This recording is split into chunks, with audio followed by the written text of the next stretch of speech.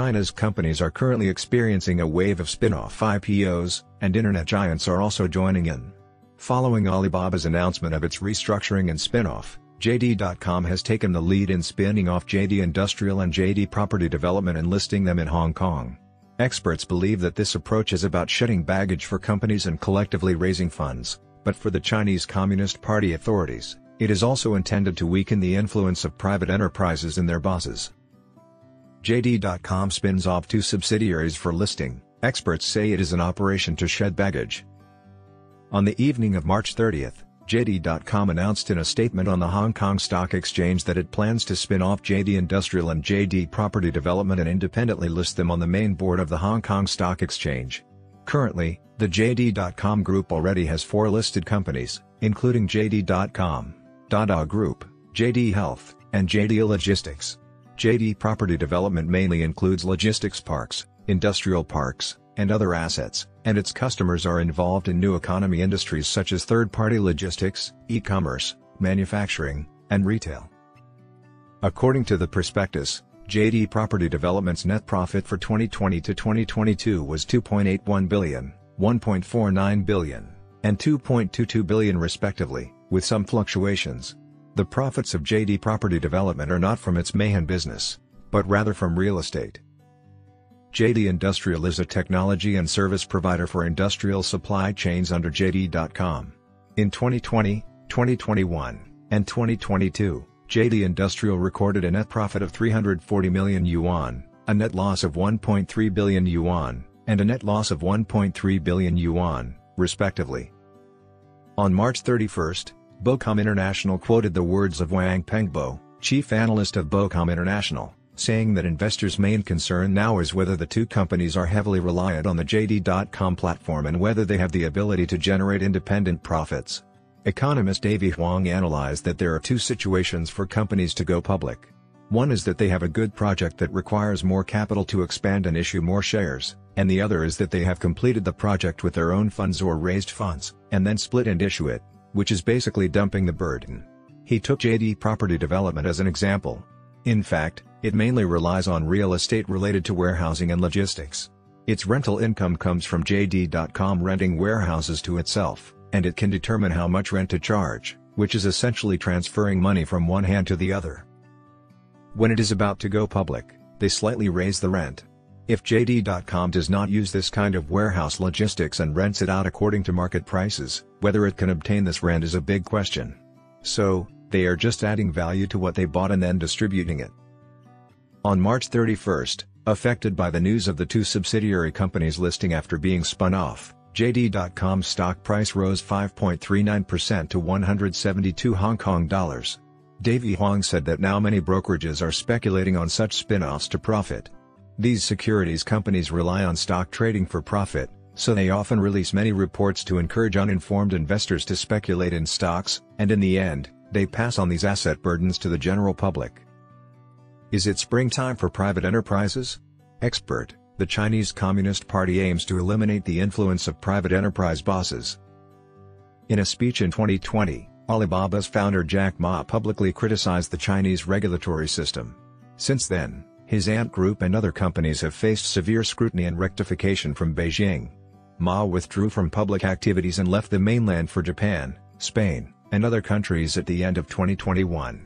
He suddenly returned to China on March 27 this year, and many analysts believe that there was a political transaction behind his return. After Ma's return, Alibaba Group immediately launched its largest structural reorganization in 24 years on March 28. According to the restructuring plan, under the Alibaba Group, there will be six business groups, Aliyun Intelligence, Taobao Tmall Commerce, Local Services, Cainiao, International Digital Commerce, and Big Entertainment, as well as multiple business companies. Each business group has the possibility of independent financing and going public. Some mainland media claim that Ma's return has boosted the confidence of private enterprises. Ren Zeping, the vice chairman of China's Private Economy Research Association, posted on Weibo on March 28 claiming that another spring has come for the private economy. According to David Wang, the Chinese authorities are currently allowing private enterprises to issue stocks through spin-offs, providing them with an opportunity to make money. This may be related to the new leadership's encouragement of the development of private enterprises.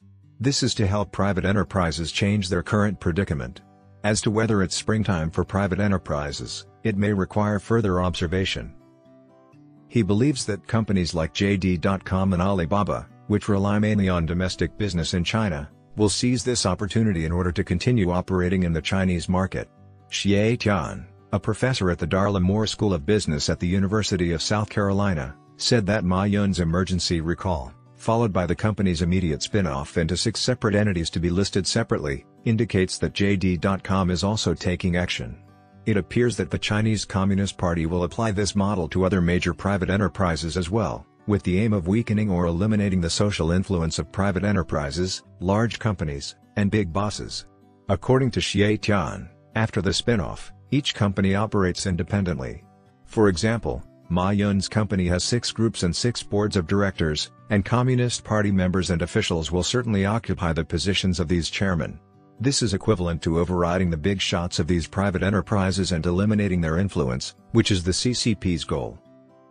Xie Tian also stated that it's not the spring for private enterprises, but rather their winter, as their companies are being dismantled.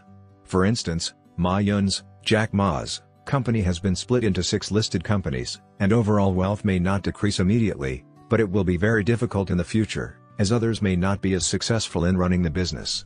The key is that Ma Yun himself is no longer a person who can call the shots, no longer a threat to the Communist Party, and his influence has disappeared. Under the pressure of China's economic downturn, Xi Jinping personally spoke out during the National People's Congress in March, claiming that private enterprises are our own people, and the new premier of the Chinese Communist Party, Li Keqiang, repeatedly promised to support the development and growth of private enterprises. Recently, provincial and municipal secretaries have conducted intensive investigations into enterprises, emphasizing the optimization of the business environment. Xie Tian said that when the Chinese Communist Party cracked down on private enterprises, it was because these people were competing with the Communist Party for influence. Now, with the collapse of the entire Chinese economy and the losses incurred by state-owned enterprises, private enterprises entrepreneurship can attract more capital and employ more people. Therefore, the Communist Party needs private enterprises and needs capitalism to once again save China's economy. Of course, it needs to establish an image to deceive private entrepreneurs and encourage them to come back, but Chinese entrepreneurs may not be so easily fooled anymore. In China, there is currently a wave of companies splitting and listing with analysis suggesting that this is a collective effort to raise money by taking advantage of small investors. Regarding Alibaba's announcement of splitting into six major segments and seeking listings, JD.com had already split and listed earlier. Mainland Chinese media believe that this may indicate that more domestic internet giants will join the wave of split listings in the future.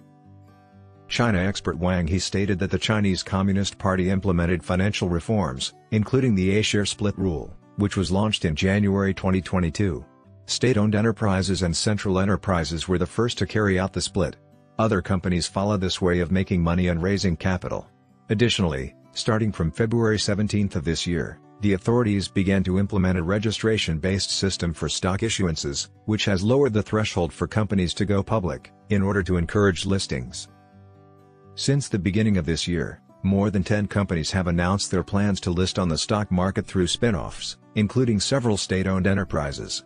On March 28, China Southern Airlines announced that its subsidiary, China Southern Airlines Cargo, will be listed on the Shanghai Stock Exchange. On the same day, Xinta Energy announced that it plans to spin off its subsidiary, Xinta Medical, and list it on the Sci-Tech Innovation Board.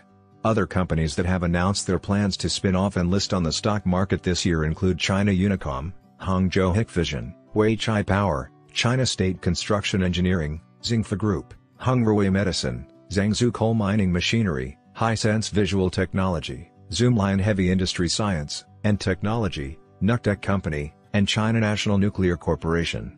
Regenerate Response According to Wang He, an expert on China-related issues, the Chinese economy is not doing well and the Chinese authorities hope to stimulate the Chinese capital market by increasing the number of listed companies, using the desire for money to stimulate investors to surf the capital market.